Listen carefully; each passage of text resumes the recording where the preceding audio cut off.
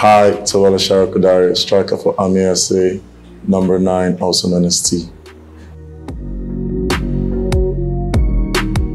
Kind of, it's kind of like a funny story that I heard from my family because I obviously don't remember. But we were watching um, a football game, a Nigerian football game, and Nigerians, I think Nigeria scored, and the whole family yelled goal. And then after that, I yelled go too. And that was my first, so that was how the first thought came about. Well,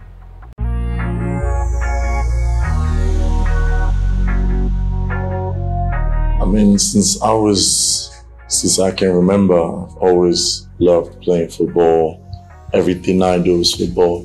In school, outside school, always playing football. And, you know, my family, they could see that. I mean, back then, if you wanted to play football, your parents would probably tell you, no, go read your books or something. But it wasn't really like that with my family because my dad was an athlete. So I had that small push from them and support from them too to play football.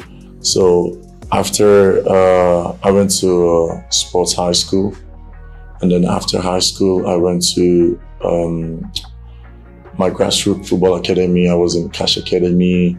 I was in. Uh, after that, I went to box to box, and that's how I got to meet my agent Jean Gerard. And from there, uh, I had trials in Freiburg and Toulouse, and then I had my I signed my first pro contract in Latvia. I was happy to go to Latvia and sign and start playing pro football, but like I said, it was also kind of like disappointing. But I was happy to start my pro career finally, and I was also happy I was going with teammates, like people that I know, people that I've played with.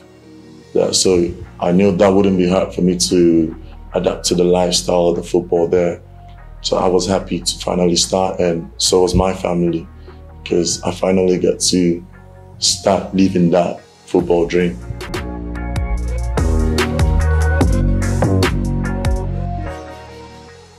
I wouldn't say I was trying to force a move. All I would say is, I mean, every footballer wants to move higher. I mean, every individual in life wants to move higher in life. And I felt that was the right time for me to move. And the club knew this too, but there was just a little bit disagreement between um, my options and the club's options.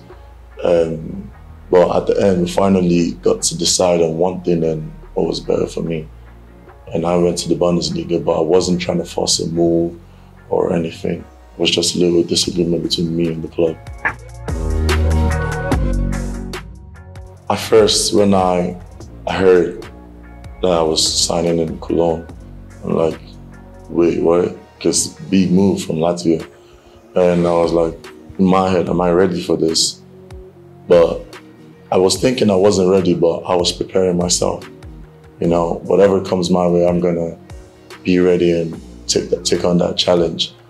But when I was there, I wouldn't say I had the best time.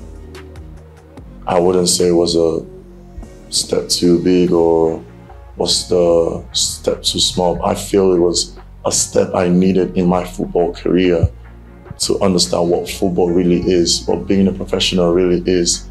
And my move to Cologne wasn't a move to help me shine to the world or for the world to know who Tolu is. It was a move to help Tolu understand what football is outside Latvia, what being a professional, a top player is.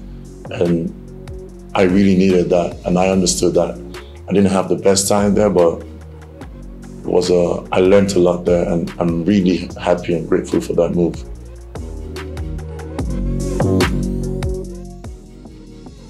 Dennis was, how do I put it, was the Nigerian brother I needed to come through. I had Kingsley there, but he's, he's, he has Nigerian origins, but he's not. He doesn't have the mentality like we, we do. But when I, from the first day I got there till the last day, until now, he's always been Kingsley, he's always been a brother. He always helped.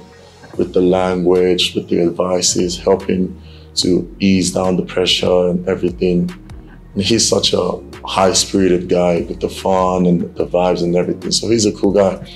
And Dennis, like I said, he was the Nigerian brother I needed to actually speak pidgin English, go eat the African food with, vibe with, and everything. And he's also an attacker like me. And so I learned from him too. And we had a good friendship. He also had a tough time in Germany, but we could see what happened after that. He went to the Premier League and he did his thing. The Nigerian football world is quite big and it's like one family. We've all known each other from different places. Either we've played against each other or heard about each other or shared the same manager or something. And in whatever way we feel like we can support another brother, like when I say brother, I mean football player, we would, even if it's just a post or uh, an advice or something. But I mean, I have quite a couple of friends in the Super Eagles. Um, there's uh, Etebo, Awoniyi, Dennis, Osimhen, uh, Moses Simon, Murphy. Uh, there's a lot. There's actually a lot. But it all boils down to the one big family and the one network, if you know what I mean. Because when we're in Europe, we're not in Nigeria anymore. That's when we need each other to be one, to be brothers. You never know when one of us, when one football player might call and need your advice, or you might meet up one in a restaurant and, oh, because I never knew you before, I wouldn't say hi to you. It doesn't change anything if I didn't know you before. We're Nigerians, we're football players. That's when we build that relationship.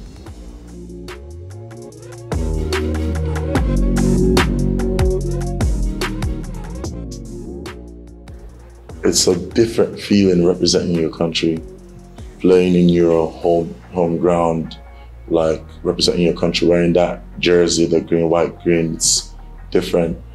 Doesn't matter at what age, even if I'm 32, as long as if, if it's my first time playing for Nigeria at 32, I don't care. As long as I get to represent my country, that's what's important to me. But obviously, I would like to start at, at a young age. But whenever it happens, I'll be grateful for it. That's that would be like a dream come true. My time at Amiens has really been good. I have no regrets.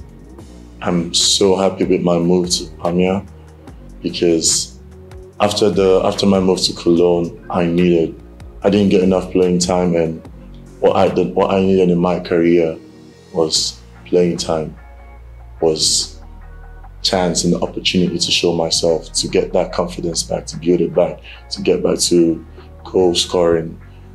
You know, if you understand what I mean. And my move to Amiens helped that. And my teammates and the coaches too, they also helped that.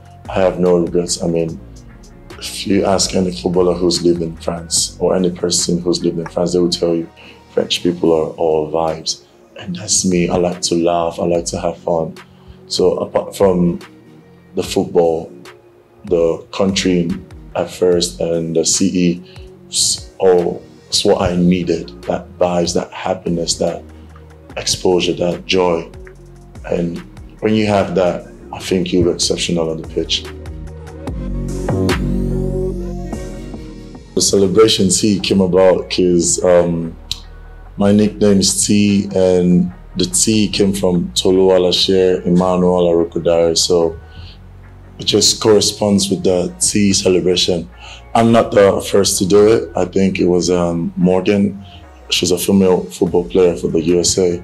She was the first to do it, but I mean, we could always copy celebrations. So.